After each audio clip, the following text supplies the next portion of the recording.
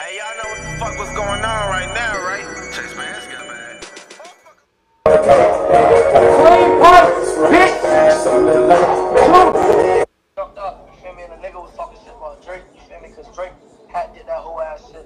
Bro jumped in the conversation on some whole ass shit. Right. You like, so When they talking shit, all I do is count. Yeah. When they talking shit, all, all I do is count.